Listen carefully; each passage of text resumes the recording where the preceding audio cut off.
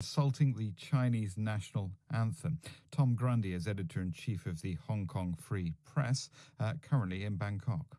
Police said three people, aged 18 to 31, were suspected of turning their backs to the field or not standing when the Chinese national anthem was played at the beginning of the match.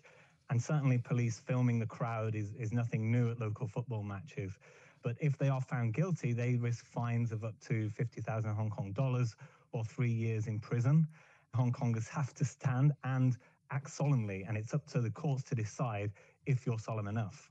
Under what law do they have to do that? This is the national anthem law, which was passed in 2020, weeks before the national security law, which many may have heard of. For years, Hong Kong crowds would boo the anthem or the mainland Chinese team, which certainly irked the local and national authorities. Someone has already got three months jail for editing a video so that the anthem was replaced with a protest song. It was only a few weeks ago that Glory to Hong Kong, an actual song that many during the 2019 pro democracy protest I guess, wanted to be the Hong Kong anthem was banned practically. Even Google removed it from search results and YouTube.